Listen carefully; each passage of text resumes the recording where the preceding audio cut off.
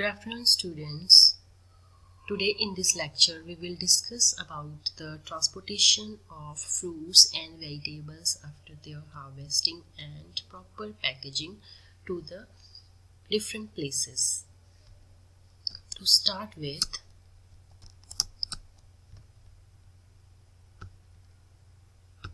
after harvesting of the fruits these are packaged properly and are transported to the local groceries as well as to the distant places.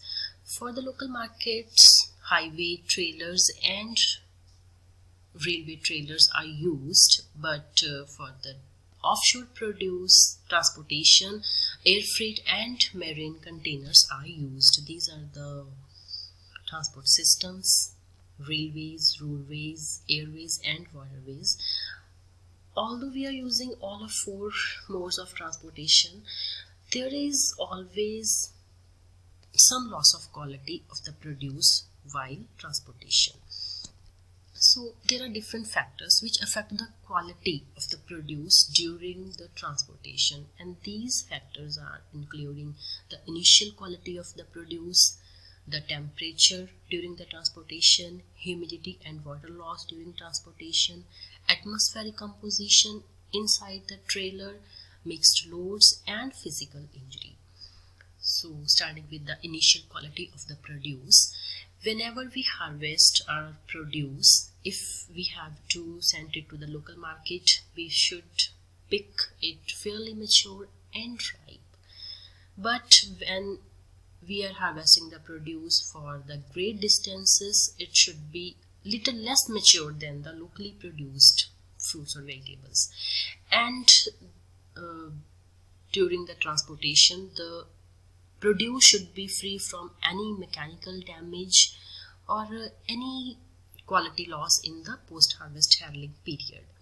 So initial quality of the produce should be good so that it can withstand with the transportation Next is the temperature which is the most important factor affecting the quality of the horticultural produce. Freshly fruits and vegetables remain alive as they respire and respiration is a process where carbohydrates and oxygens are used and carbon dioxide water and heat are released. So it can be said that temperature is the primary factor which control the respiration rate.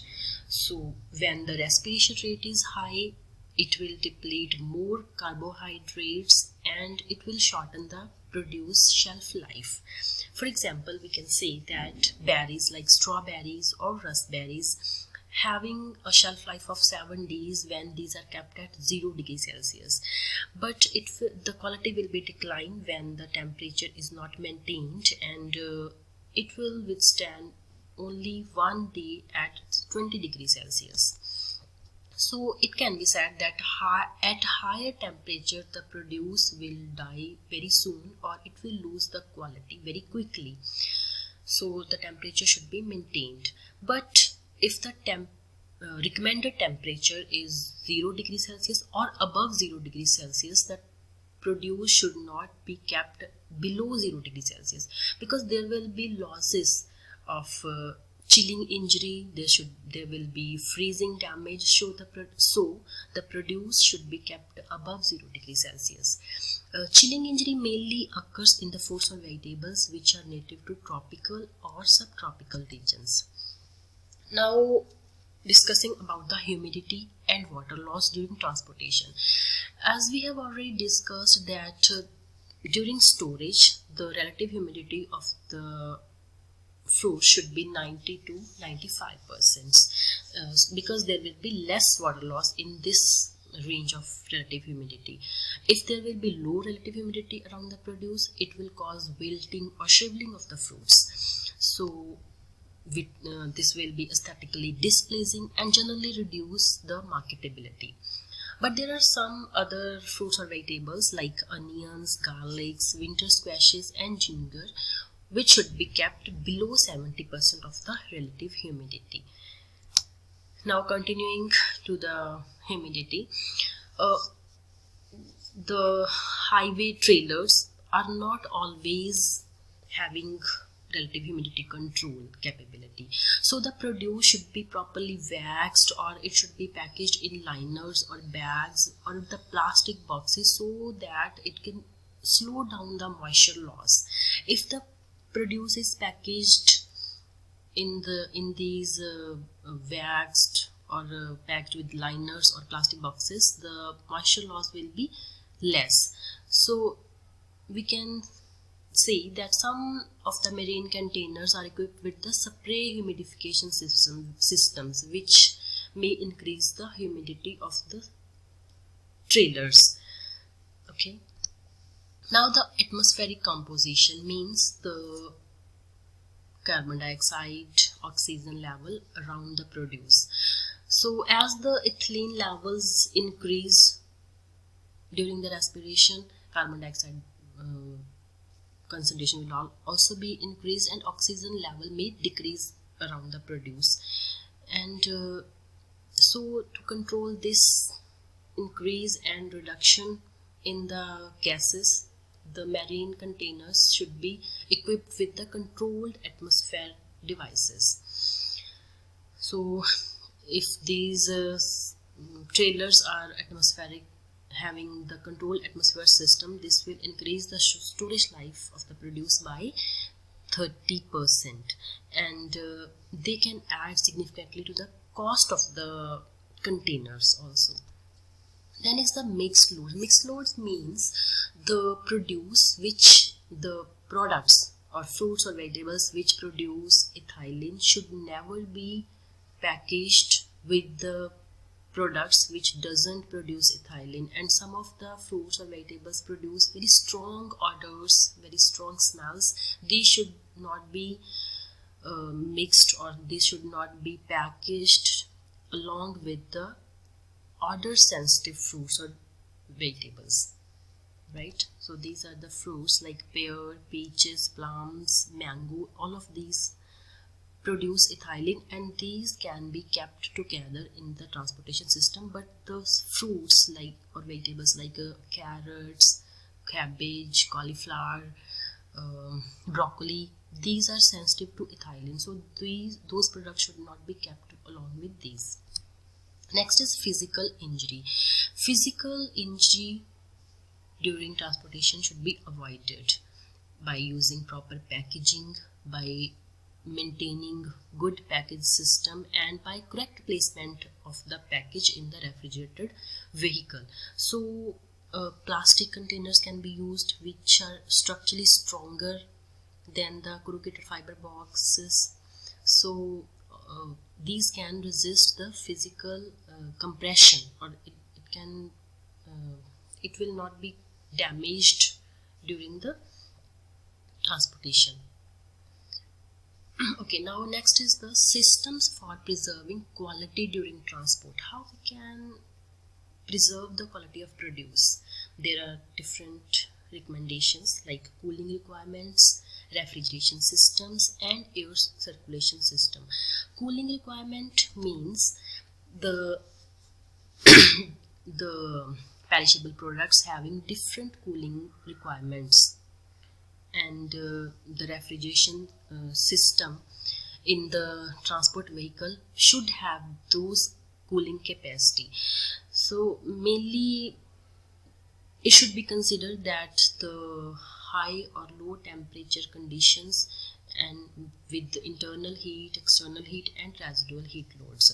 Uh, internal heat loads are those when we have harvested our produce and it is not pre-cooled. And uh, when there is field heat is present in the produce as well as when the produce is respired it produce heat. So the heat within the products within the fruits or vegetables is the cause of internal heat loads. And external heat loads means uh, the external environmental conditions. And it may heat the vehicle or the containers from outside and then is residual heat loads means uh, the heat loads which are initially contained in the transport vehicle or the heat in the boxes pallets and devices used to secure the load. Okay next is the refrigeration systems. The refrigeration system in the container should be proper so that we can control the temperature and we can provide the best temperature to the products. Most commonly co uh, used cooling systems are mechanical refrigeration ice and cryogenic cooling. Mechanical refrigeration means the system that that we use in our homes with the refrigeration so it can control the temperature inside the trailers by using refrigeration equipments next is ice cooling ice cooling is the simplest method by uh, placing the ice in a package over the um, over the boxes in which we have kept our produce. But there are many disadvantages of ice. Like uh, when it melt it comes in the form of water. It may destroy our packages which are not resistant to water. So while using ice cooling method we should always keep in mind that it can it should not destroy the packaging materials the next system is cryogenic cooling. Cryogenic cooling with the liquid nitrogen, liquid carbon dioxide or solid carbon dioxide. Solid carbon dioxide means dry ice is used to maintain the temperature of the fresh fruits and vegetables.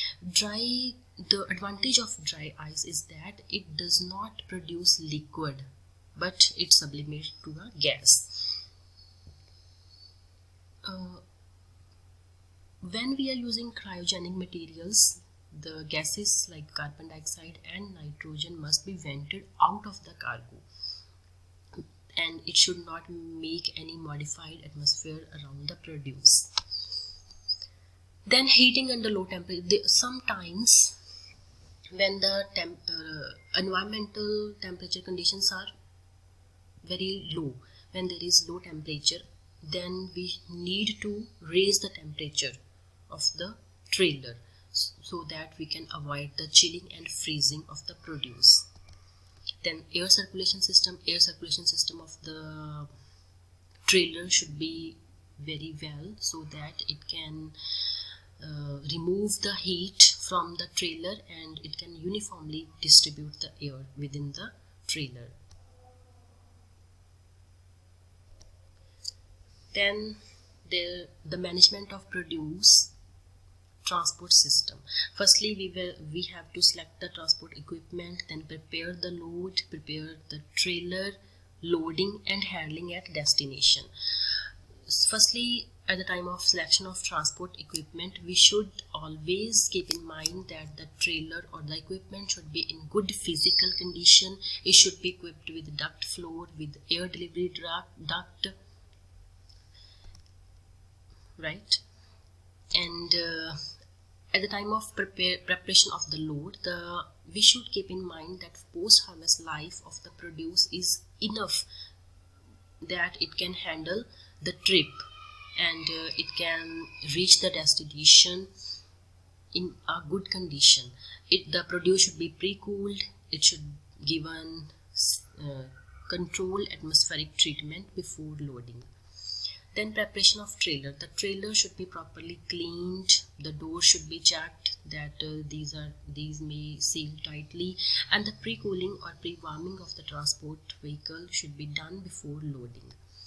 Then at the time of loading we should keep in mind that uh, we should avoid the bumping of pallets avoid the puncturing of modified atmospheric plastic bags. Do not load to the produce together which is not compatible we should always apply bracing between the pallets and do not load produce which is sensitive to vibration or damage. Then handling at destination. When the produce arrives at the destination the pallets covers and wraps should be removed and the temperature and quality of the produce should be inspected. And uh, uh, the produce should be kept at the refrigerated room produce that is uh, within 2 degrees Celsius it should be kept at optimum temperature and uh, at retail produce should be refrigerated upon arrival. So, thank you students. This is all regarding the transportation of fruits and vegetables.